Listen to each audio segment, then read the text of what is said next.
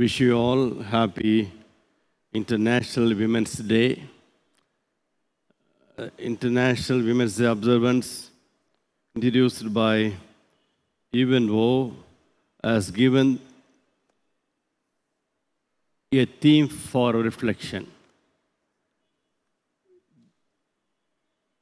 That is digit all. Innovation on technology for gender equality. That is the theme given by the UNO to, to reflect on 8th March, that is today, when international communities celebrate Working Women's Day. It is very important. Many years ago, at the beginning of this uh, 20th century, there were struggles by women who were fighting for their safety in their workplace, and they wanted to specify the daily hour of their working hours. And after a great struggle, uh, they have got little freedom, and therefore they wanted to celebrate March 8th as the International Women's Day. But on that particular day, three women were shot dead by police when they wanted to march uh, towards um, their venue where they have arranged a big procession and a big get together gatherings to demand for the rights. In order to remember uh, the sacrifices of three women on 8th March, they have established this day called International Women's Day. As per our Lenten program, we are asked to reflect on Romans 2:24. Uh, that is very much related with the gender equality and the legalistic community. There is no human touch, but they were talking about only law. Pharisees and other teachers of the law in Jewish community, they were only upholding laws and things related with the laws. There was no human touch, there was no kindness. Romans 2:24 as it is written God's name is blasphemed among the Gentiles because of you. He wanted to conclude with this verse. Before that, he was explaining how they were indifferent in terms of practicing the laws that they were learning or listening or studying. He gives so many examples from verse 17 to 23, chapter 2, Romans chapter 2, from 17 to 23, he was explaining in detail how they were not practicing the laws that they learned from the teachers of the law in Judaism, in Jewish community, when Paul was ministering in around Palestine and Asia Minor, that is Turkey. In many occasions, our Lord encountered with Pharisees, and he was actually demanding justice from these teachers of the law and Pharisees, since they were advocating only laws of the Bible be studied properly, and they wanted to uphold the importance of the law but not practicing the law. Matthew chapter 23, he says that Matthew 23, verse 23. Matthew 23, verse 23. Woe to you, teachers of the law and Pharisees, you hypocrites! You give a tenth of your spices, mint, dill, and cumin, but you have neglected the more important matters of the law justice, mercy, and faithfulness. You have neglected very important part of the law whereas you were very particular to offer one tenth of all agriculture produce. Even the least, from the least of things that you use every day. And you were very particular to pay one tenth of that. Mint we, we hardly buy for rupees 10 or rupees 15 mint. Even in that mint, they pay one tenth. From the least, they wanted to pay one tenth, which means they were praising themselves that we are very religious and we want to offer one tenth. But Lord wanted to explain them, stating that you have neglected very important part of the law. That is justice, mercy, and faithfulness. you should have practiced the latter without neglecting the farmer. You blind guides, you strain out a gnat but swallow a camel. Matthew 23 25. Woe to you, teachers of the law and Pharisees, you hypocrites, you clean the outside of the cup and dish, but inside they are full of greed and self indulgence. Externally decorated, but not inside. Your heart is full of filthy. It is against God and the love of God.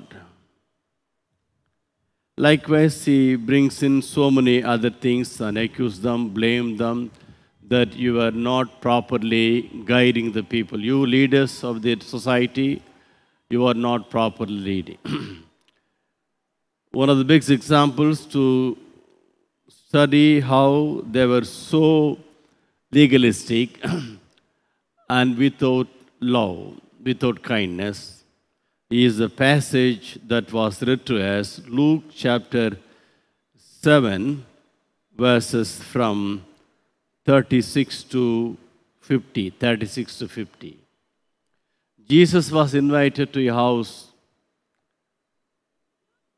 and there was a visitor whose name was not given here, but it was mentioned as sinful woman. Luke 7 37. When a woman who had lived a sinful life in the town learned that Jesus was eating at the Pharisee's house, she brought an alabaster jar of perfume, and as she stood behind him at his feet weeping, she began to wet his feet with her tears. Having seen this, the host thinks himself, What did he think? If this man were a prophet, if Jesus was a prophet, you would, uh, you would know who is touching him and what kind of woman she is, that she is a sinner. Now, Jesus, having learned through his Spirit, now he wanted to explain the need of forgiveness, the meaning of forgiveness, the meaning of mercy, love, and faithfulness. Jesus tells a small parable from verse 41, Luke 41, Luke 7 41. Two men owed money to a certain moneylender. One owed him 500 denarii and the other 50. Neither of them had money to pay him back. So he canceled the debts of both. Now, which of them will love him more? Simon replied, I suppose the one who had the bigger debt cancelled. Which means who owed 500 denarii.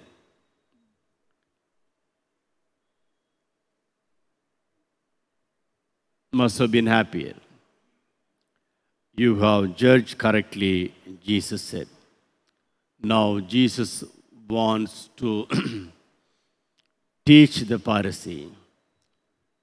There were three accusations Jesus brings out here. What are the three? Luke 7, verse 44.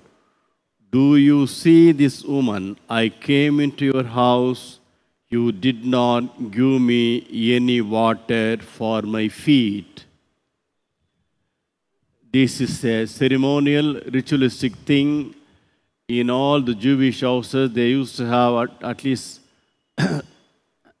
jars kept outside their houses filled with water to wash their feet. Jesus says, You invited me for a meal, but you failed to wash my feet or give me any water for my feet. But she wet my feet with her tears and wiped them with her hair.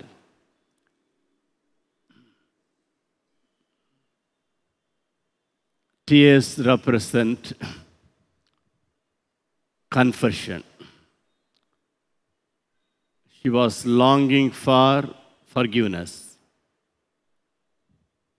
But in fact, many witnessed how she used that costly perfume.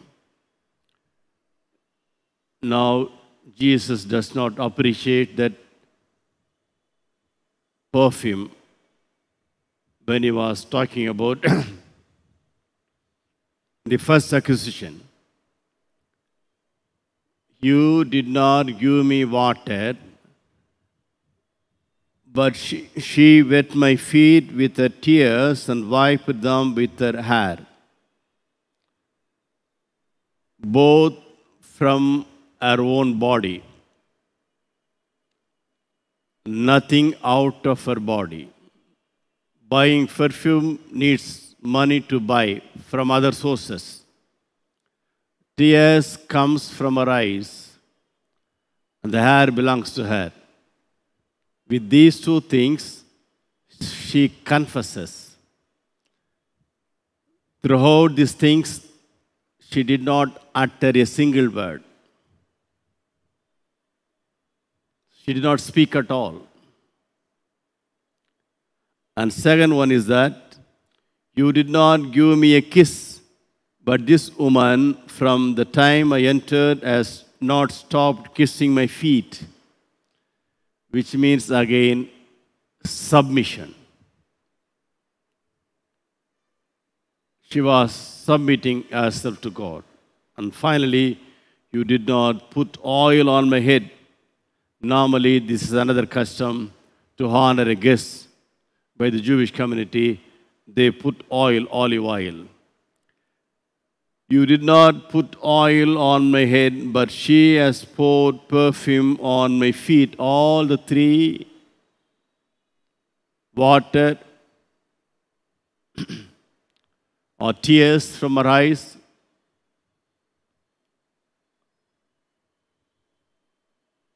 And again,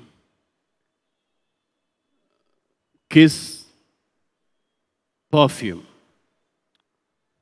or all the three are on Christ's feet. Three kinds of submission